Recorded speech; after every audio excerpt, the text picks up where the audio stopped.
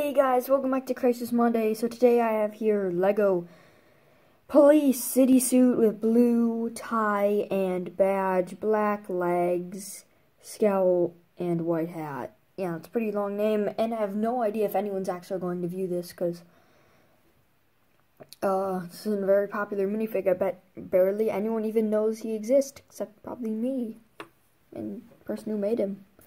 I don't know, but anyway, let's get into the review yeah. So first he has this ridiculous looking white cap. I have no idea why Lego even made this. It's crazy looking. It's like weird.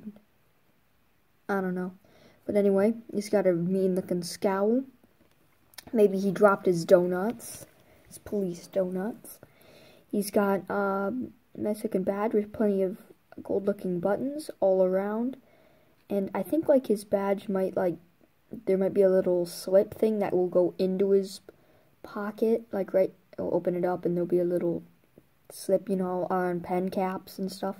So you can slip it in there. And he's got a blue tie here. Uh, nothing anywhere else. So that's basically it for him, except he has this thing, which is also on a lot of pen caps. It's an interesting story behind that. But anyway, um, let's take a look at the sets this fig came in. Lego Prisoner Transport, both in black and blue, which is kind of weird. The stickers, if you can tell. And then the second one is Lego Police Officer, which is a set that I have and did a review not long ago. So if you want to go check that out, there should be a card popping up right now. You can go take a look at that now or later at the end of the video.